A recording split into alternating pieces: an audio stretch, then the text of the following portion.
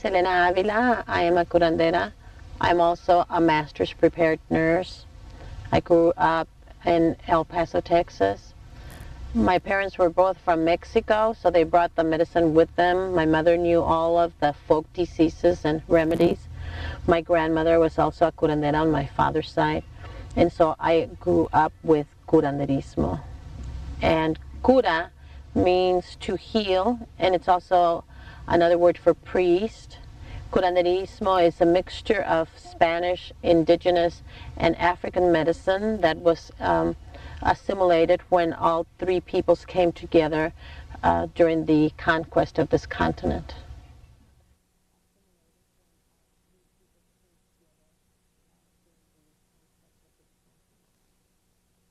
Well, it's hard for uh, all us Mexican Americans to be put in one pot. And so, because we come from uh, different educational and socioeconomic levels, some people believe that the only ones that, that the only Mexican Americans that believe in curanderismo come from the lower socioeconomic level, but actually that's really not true. Um, but it's, it's really hard to categorize all of us. I can tell you generally that we, um, we see things holistically. The community is very important. Family is very important. Um, the way we view um, mental illness, illness, for instance, in, uh, in Mexico, the indigenous people of this continent don't even have a name for mental illness. It's some sort of disharmony as, as any other illness would be whether whether it's caused by uh, genetically or um, or by trauma or whatever. Uh, we look at the whole environment. For instance, I don't see a diagnosis in a person what I see is is that person itself, that that person, I see that person. I always like to ask the person, how can I be of service to you? Whether they're schizophrenic, whether they're hearing impaired, whether they're blind, whether they're rich or poor, whether they've just been given a Western diagnosis of cancer or whatever. It doesn't matter to me. I just don't see that person as a diagnosis. I ask that person, how can I be of service to you? What do you need? And so we view mental illness in, in much the same way. We don't use a clinical diagnosis such as schizophrenia or manic depressive or, or so forth. Um, we might use things like um, they had a, a choque, you know, some sort of shock, or um, nervous breakdown. You know, that's more a, a kind of a, a, folk way of looking at it. But um, there are some of us that believe that the cause of mental illness comes from bad luck or, or, or curses and um, or some disruption in the family or the community. Um, others really believe that deep down they know that, that it's just something genetic that happened. Um, some Mexican Americans believe that uh, people with quote, uh, clinically diagnosed schizophrenia uh, have special powers.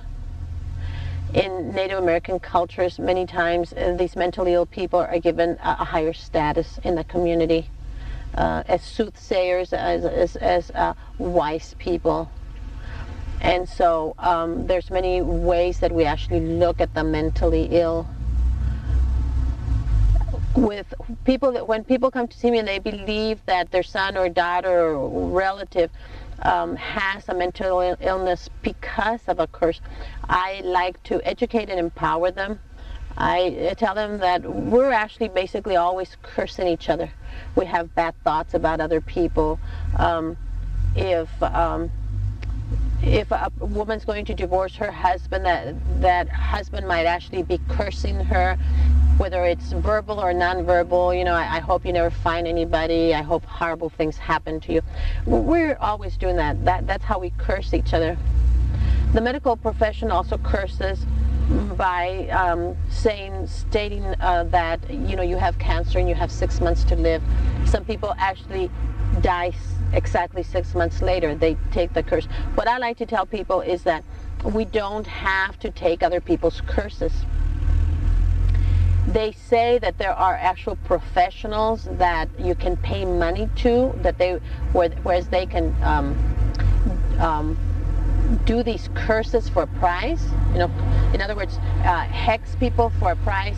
Uh, do some whatever they do, put them under some spell, or do, or maybe put pins on a voodoo doll and actually cause people to go crazy.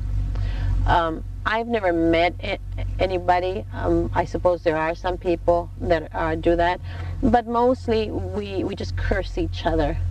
And what I like to tell people is that um, that since all of us uh, curse each other, perhaps there were some people that um, uh, cursed their family, but that I truly do not believe that this mental illness comes from curses.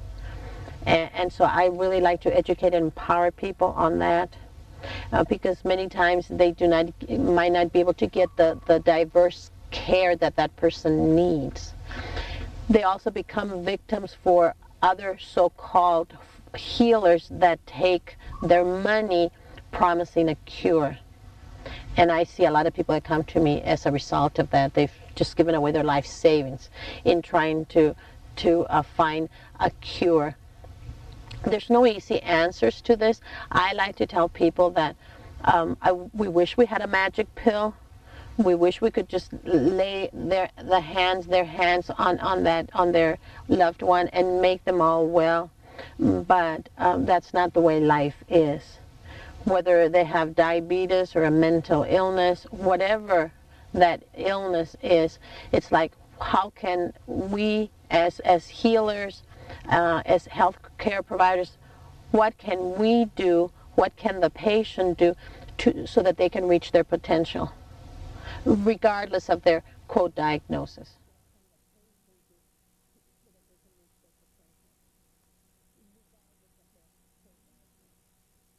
Yes, some of the some of the uh, folk diseases in curanderismo. Uh, one of them is envidia. Envy. It's an emotional illness.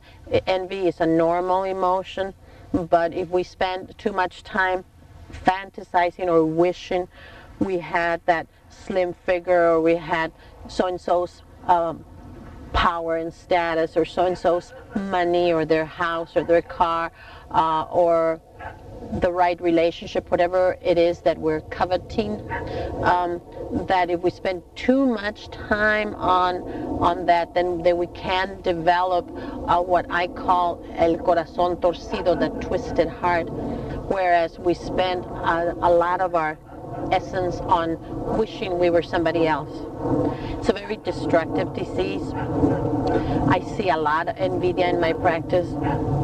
It comes from deprivation. It comes from not having enough love as a child. And so we leave the nest hungry and we want this and we want that and so forth.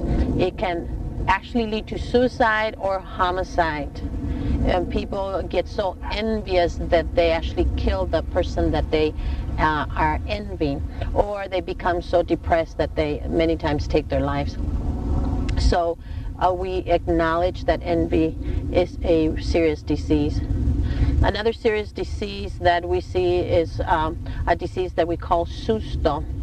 And susto comes from the belief that our soul is just as important as any aspect of our body, uh, mental, uh, physical, emotional, that we have a soul and a spirit. And when we suffer a, a, a traumatic experience, a fright, uh, where, whether we were sexually abused or whether we went to war or whether we were physically abused or were involved in a, um, a, a car accident or a plane accident, whatever caused that trauma, that a part of our soul stays where the trauma occurred. And the curandera needs to go back with the with the uh, patient, the client, and retrieve that aspect of the soul, because then you have a part of you missing. And life is hard enough without that part missing. We need that part. The curandera is always doing soul retrievals, whether she's doing a limpia or actually calling the ceremony a soul retrieval. We're always cognizant of the fact that we have a soul and spirit. So even uh, uh, rubbing an ache over your body uh, and, and uh, you know, being seen as a simple limpia, we're doing a soul retrieval. We, uh, curanderas, curanderos have never separated soul and spirit from, from medicine. So we do practice medicine and spirituality simultaneously. So we're always aware that uh, that, that person has a soul and a spirit.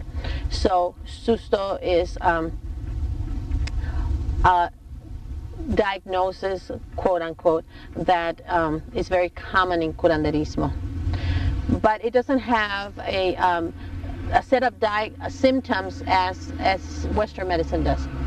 Um, Western medicine will classify a mental illness or an emotional illness with, uh, with symptoms we recognize that the soul is very unique and, and very in, diverse. So I don't look at particularly at symptoms. I look at you. I look at that person and see how it, that soul loss manifests.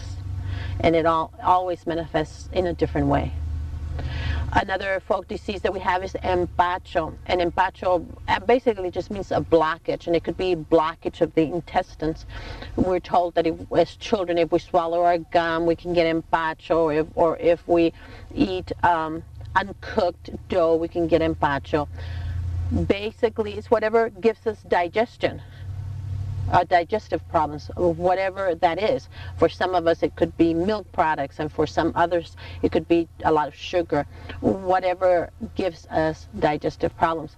But we also uh, recognize that we can have empacho of the soul, uh, a blockage of the soul when we're not being true to ourselves. Uh, for instance, I'm also a poet. If I don't write poetry, I get empacho. I have a blockage. Um, my soul needs to express itself in poetry. So we can also have that. Sometimes we can have empacho uh, spiritually. We were perhaps we were raised in one religion and we no longer fits us.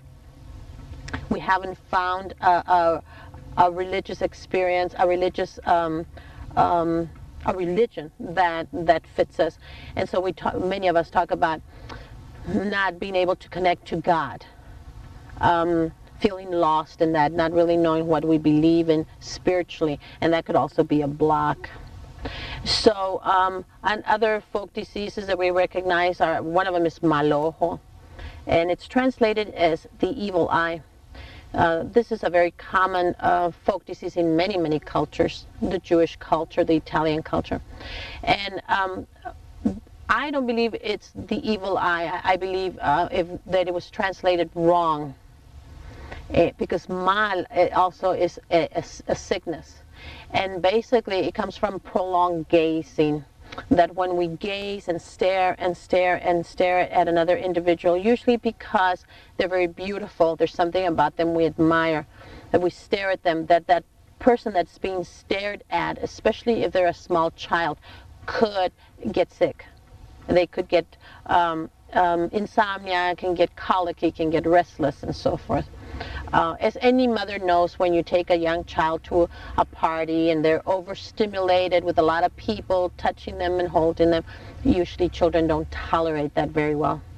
Prolonged gazing can also come from envy. We can look at, stare at somebody that we're envying, but we can stare at them with mixed feelings of hate or revenge or so forth. We know because we want what they have. So those are some of the folk diseases that are more common in curanderismo. But the curandera or the curandero doesn't just treat folk diseases, they treat whatever makes people uh, sick, whatever makes people unhappy. And so there's like this whole range of, of uh, maladies that are not diagnosed. And, and, and, I stress that we don't uh, we don't really treat the diagnosis. We treat that person. You know, we might um, come up with susto or uh, empacho. But the most important thing is how does that person express that disharmony, that that illness, and how, and what can we do to to assist them.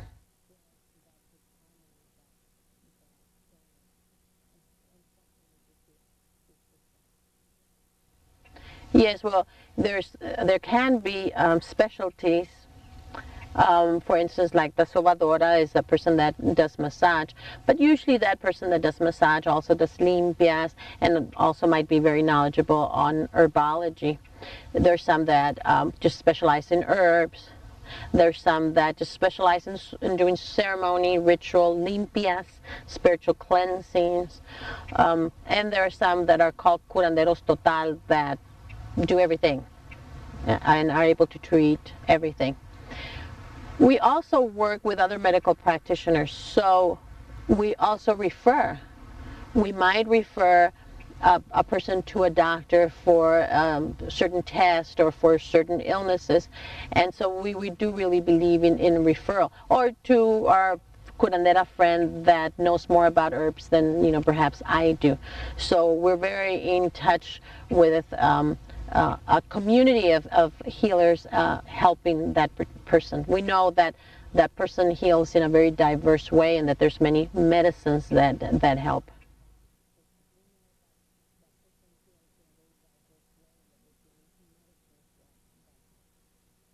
Um, manzanilla is very common. And, um, first of all, I must say to you that um, that's not my specialty but I can tell you that some of the most common ones, but manzanilla, and um, which is chamomile, um, yerba buena, uh, which is peppermint. There's, um, um depending on the region too.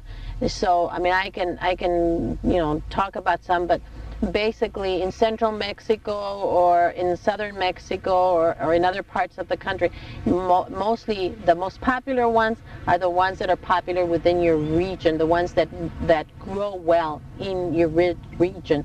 For instance, ruda and romero are very common in this area for limpias because we also use the herbs for spiritual cleansings.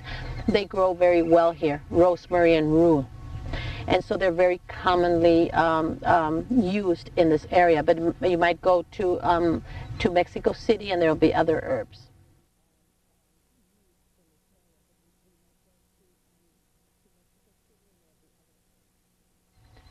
I think the most important to any of us, uh, health providers or, or helpers or um, people helping people, I think the most important tool that we have is our heart we have a concept in curanderismo, corazón cura corazón, heart heals heart.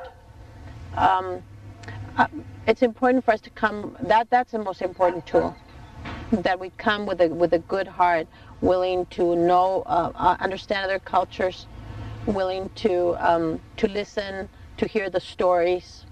Uh, in my culture, we talk in stories. So we always have to tell you a story and um, realizing that you have a very difficult job, which is, you know, being the mediator between two other people. That's a difficult job, and wanting to do the best um, possible. I'm always interpreting um, people, though. And it's not so much by their verbal and what they're saying. I've learned to tune into the whole person, the the energy that's emanating from that person and that energy is a result of what they think, what they say, what they don't say, what, what they've just, what they eat, um, uh, the status of their body, um, their spirit, their spiritual beliefs. We uh, emanate a, a, an energy around us. I have become very intuitive practicing curanderismo. And I believe intuition is also a very powerful tool, as is heart as um, hearing impaired people are very good, very intuitive people. And so I would, uh, I would suggest that the interpreters work on their intuition and work on developing a compassionate heart. Um, understanding that in my culture, the Mexican American culture, family, community uh, are very important. There were storytellers that we um, don't always see life in, in as, as Western society does. We have our own ways of interpreting illness or what makes us sick or happy.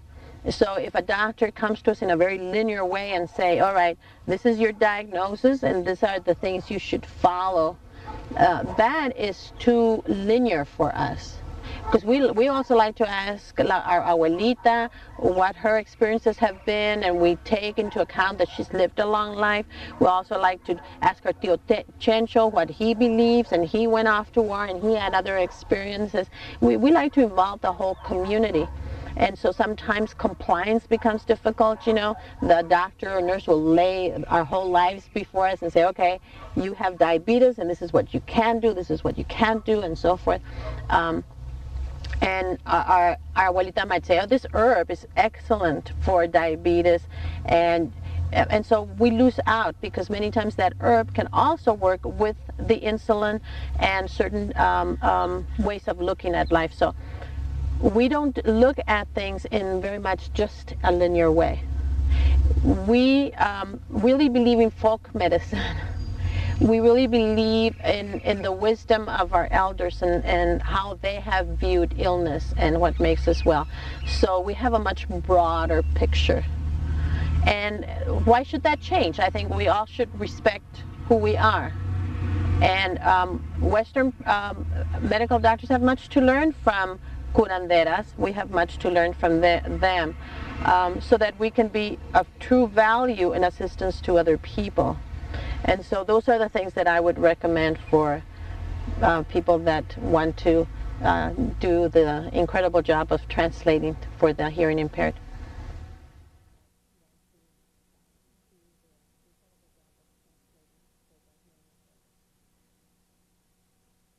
Well, I think if the if the child is the patient or a young person, then you would always start with the elders. You know, so if the grandparents would be there, then that would be you know, you would introduce, start with the elders. You know, um, that's just a basic rule. But certainly, the most important thing is that all family members are acknowledged. They all want to be validated. So if you just say go out, the parents and and and the aunts and uncles are there, and the grandparents, and they are not introduced or brought into the circle, then that is going to be seen as very very rude and it's going to cause some, some, some hurt feelings. It's very important that everybody is introduced and, and told who is this. This is, this is El Tío Chencho, this is La Tía María, and you know, that, that's very important.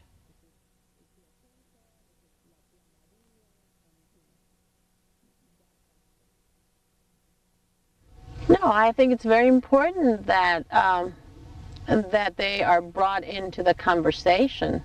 I mean, they want to know what is happening. As as with the hearing impaired, you know, if they're not being told, okay, this is this is what just has been said, this is what's happening. If they are not getting that interpretation, I mean, that also creates a big uh, a big gap. It, it creates um, a gap in the circle. So of course, um, when I have interpreted um, to Spanish-speaking people, I always stop and I, and I say, mira, el doctor dijo que esto y lo otro, y mira, es lo que quieren hacer, and todos entienden, everybody understand, any questions, okay, fine, let's go on. I think um, that that's a very important job for the interpreter, um, whoever is, you know, is uh, guiding that, because then people get left out, and they're not going to say that. More, a lot of people are reserved, so they're not going to say, ah, you know, I'm lost here, I don't understand. No, uh, a lot of uh, our elders are going to keep quiet. So it's up to us to include them.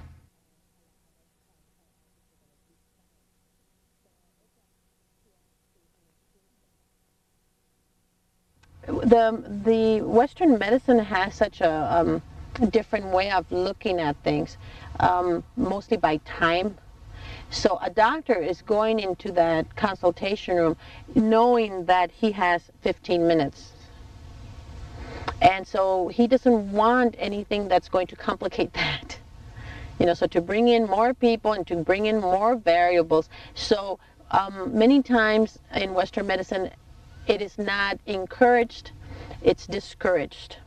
I mean, there's a lot of jokes. I have a master's in nursing, so I've worked in that system, so I know very well.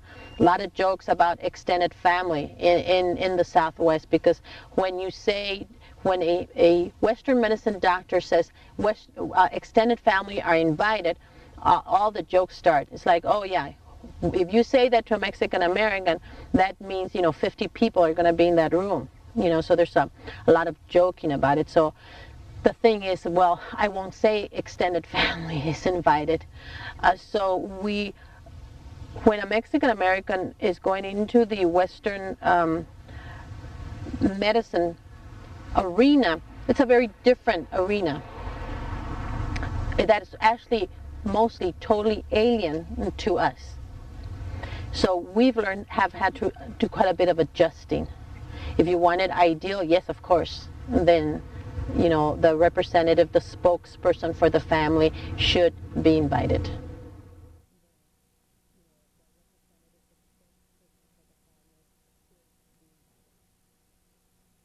Well, we want comprehensive health care. I, I, believe all of us do, Western doctors, Western nurses, curanderas, curanderos. I believe that deep down we do want that. And um, so it's important to use those terms, you know, to learn to use the terms that the doctors um, react to.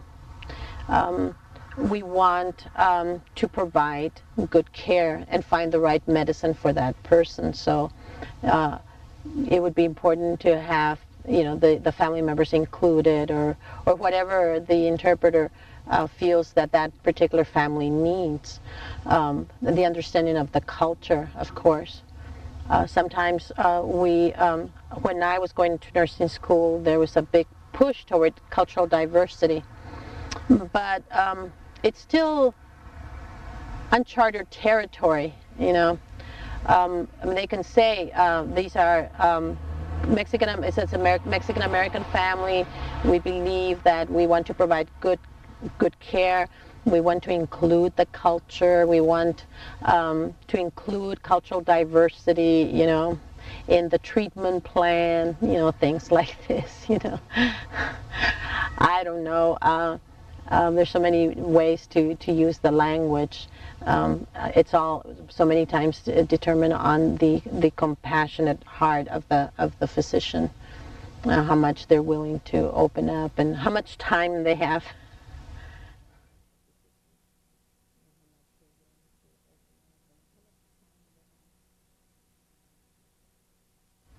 I think that what we need in the society more than anything is compassionate medicine. Um, I believe that what we need is the medicine of the people. When all of us start, start paying attention to what people need, uh, all kinds of people. I have a son that's that's mentally retarded. Um, I had a sister that died of Down syndrome. I've been around different people. I see their gifts. I have worked with uh, hearing impaired people. It's um, always uh, it was tremendous pleasure has been for me to ask them how can I be of assistance to you. I, I didn't want to just see hearing impaired. Um, you, they bring many gifts. Now, what can I do so that I can be a, a good health provider to you? And they told me exactly what they needed whether they needed me to sit right across from them or to not turn around as I spoke or whatever it was, um, that's what they needed. And so um, that's to me the most important thing is that all of us need to have uh, stop dividing ourselves. Western medicine curanderismo asian medicine. But how about medicine of the people and for the people. How about bringing back compassionate, intuitive medicine? Because um, all of us really, when we work with enough people, we really do know what is missing. And it's no longer good, it's, it's no longer useful for us to say, well, that's just the way it is. Um, because we really can make changes. More Western doctors are starting to learn about acupuncture and Chinese herbs and Mexican herbs. Why? Because people are dissatisfied people are complaining. And other people are starting to make money out of selling supplements and dream catchers and dream pillow pillows and everything else. So so th there's been a market for uh, more uh, a more compassionate medicine. So that's what I would like to end with. How about um, medicine of the people? How about compassionate medicine? Y que para todos tengamos luz paz amor conciencia y armonía.